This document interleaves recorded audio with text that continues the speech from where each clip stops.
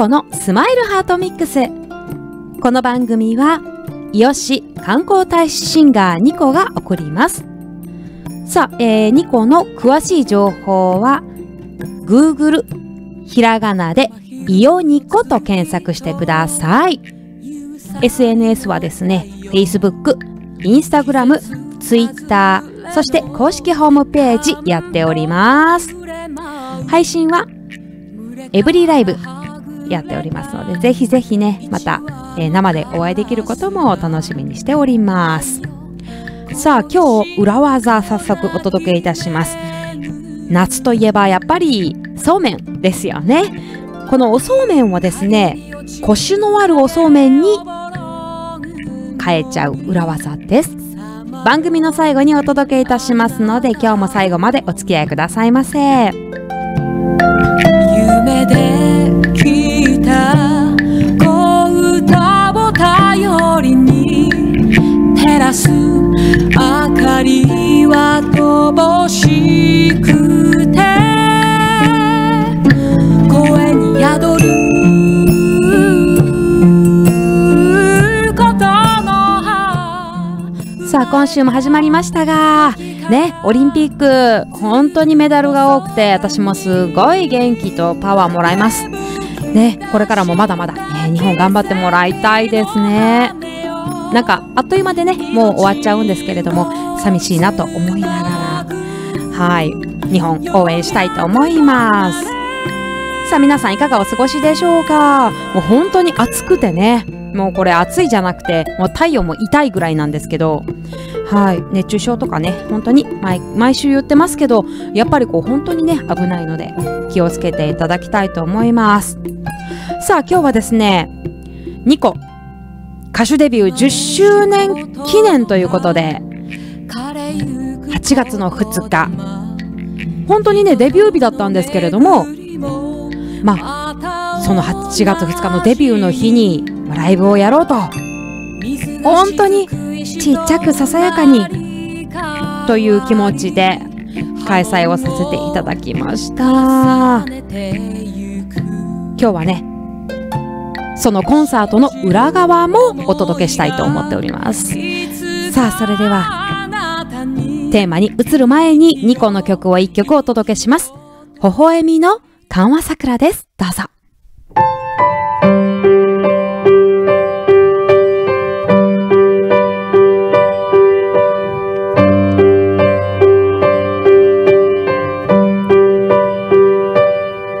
人にはそれぞれ生きる道がある。他の誰かには歩めない道。逃げ出したくても終わらせたくても己が行くだけの道が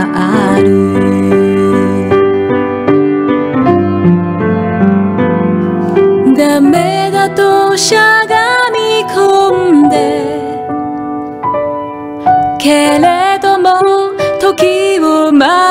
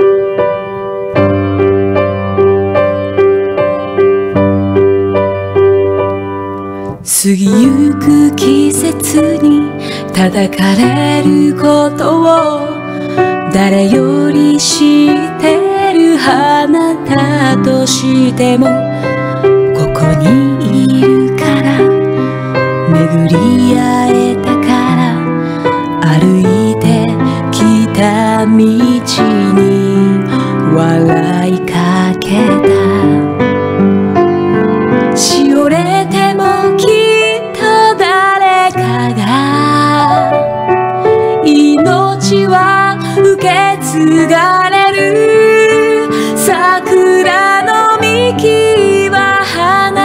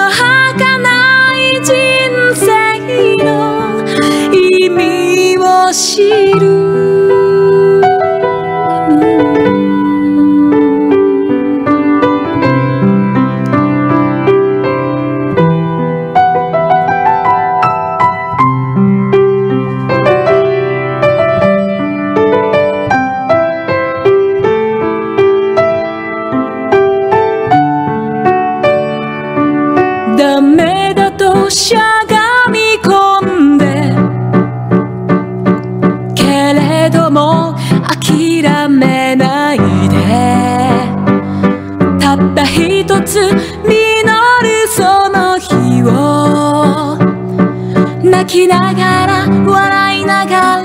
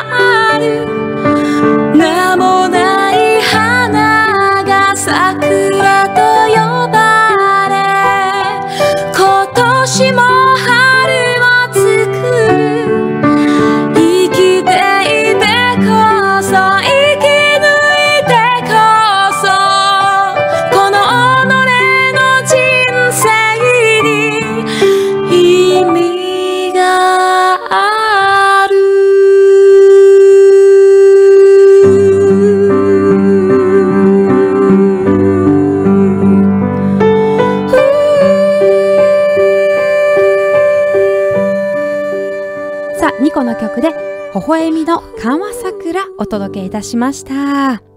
ぜひこちらのラジバリにもリクエストよろしくお願いいたします。さあ今日はですね8月2日歌手デビュー10周年記念ライブ。裏側をテーマにねお届けしたいと思います。いやいやいやいやもう10年だってびっくりするわ。本当にねあのーなんかあっという間でした。でであのコロナになってから全然きその10周年になってるっていうのを気づいてなくてですね。でそのライブも10周年って気づいたのがまあ3週間前ぐらい。ねなので7月のほぼもう半ばですよね。じゃあもう本当にねまあこんな時期だしでも何もやらないのは本当に寂しいからもうちょっとだけちょっとだけささやかになんかもうね10人とかね15人ぐらいでなんかやろうか言うていうことで企画したんですよ。で今回は場所。まあ見なら天然温泉リラクというところでさせていただいたんですけれども、まあ、お知り合いの方からお話をつないでいただきましてね、えーご飯とそしてちょっとしたライブをということでした。はい。でねあのーあのねもう、まあ、1ヶ月もねないしもう本当にこうお知らせももうね今あんまり人とかも会えないしということで、まあ、SNS とちょっとねあの口コミということでまあそれぐらいでいい？しかないなみたいなお知らせの方法が。ね。なのでもう来てくださる方ねまあ平日だし月曜日だしみたいな、まあ、いろんなことがありつつまあとりあえずでも、まあ、やるということに意義があるだろうと。思いながら、えーさせていただきました。で今回はですねハープ奏者の東真美さん一緒にあのやろうねって言ってくれてて。いや実はですねこのハープの方、まあ、東真美さんなんですけど5周年記念ライブでもご一緒させていただいてたんですよね。でそれまではもう全然あの一緒にステージもしていなかったしなんかすごくねなんか切りあの切りがいいところでご縁があるなぁなんて改めてびっくりしてるんですけどさらに後で聞いた話。8月2日がハープの日ということで。いやそんな日にデビューでそんな日にライブをしてでそんな日に一緒にライブをハープの方とできるというね。なんかすごいななんて。本当になんか私ハープのかハープにご縁があるなっていうのを 改めて思ったりしました。でまあ、えー、それもねいろんなこうご縁があってで実はピアノもねあの演奏される方いるんですけどあの一緒にあの来てくれるよって言ってくれてたんですけどまあちょっと都合でね来れなかったりとかあの本当にたくさんの方がね応援してくれてであの一緒にやろうよって言ってくれてもうそれが本当にねありがたくって嬉しくってなんかすごくもうそれだけで私あなんか今まで頑張ってきてよかったななんて思ってで準備バタバタで今回はいろんな昔の映像とかも見てほしかったのでプロジェクターそしてまあの音響の方もはい。ご協力いただいて。そして当日までの本当にあのバタバタ感が結構もう私頭がワイヤーになってましたわ。ねあの今治からも本当にたくさんの方来てくださってもう本当にありがたいです。はい。もうこの場をお借りして感謝申し上げます。そう。で当日ね迎える前の日ですよ。で急遽あのパーカッションの方あのいつも風来坊で一緒にステージをするんですけれども銀ちゃんいいよって一緒にやろうって言ってくれて、まあ、来ることになって。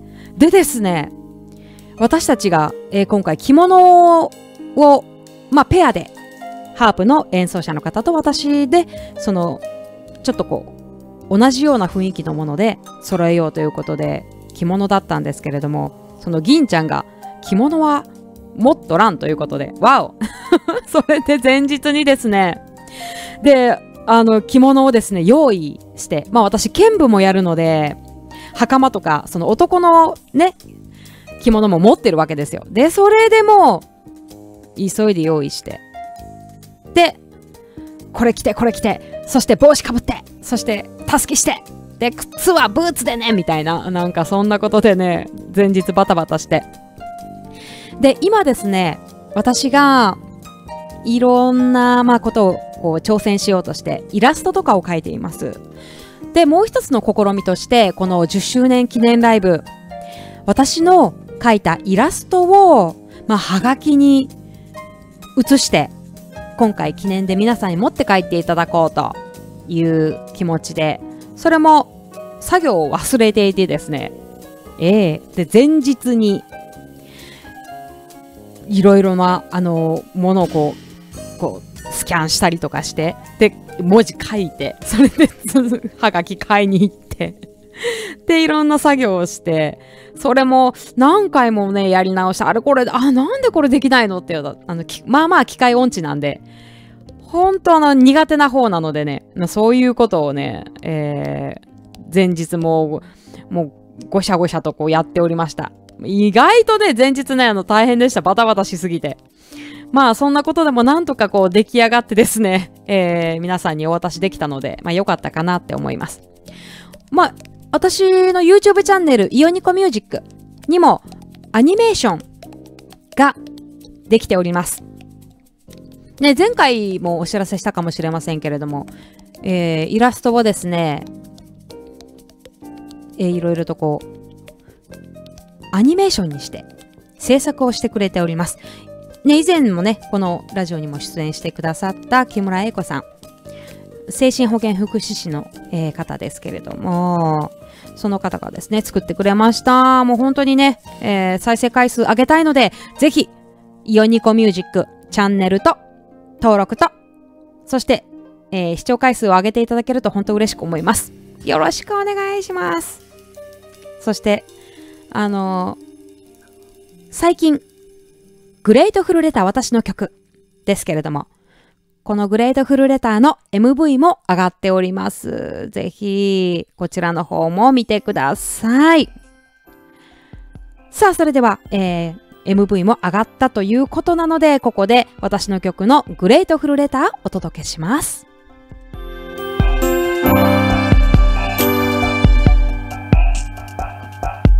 深い悲しみにした時そばにいて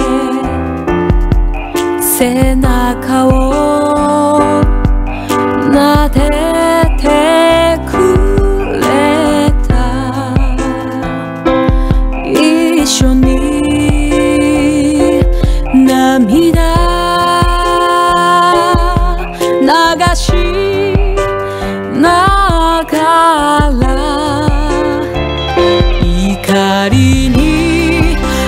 come.